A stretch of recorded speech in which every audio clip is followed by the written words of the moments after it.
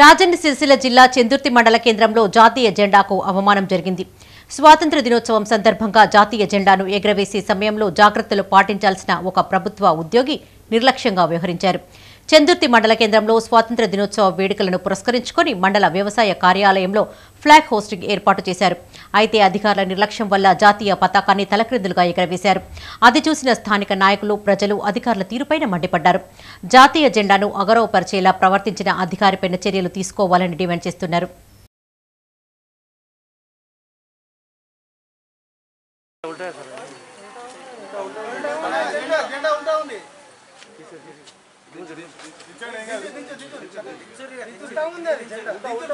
Green పైకి.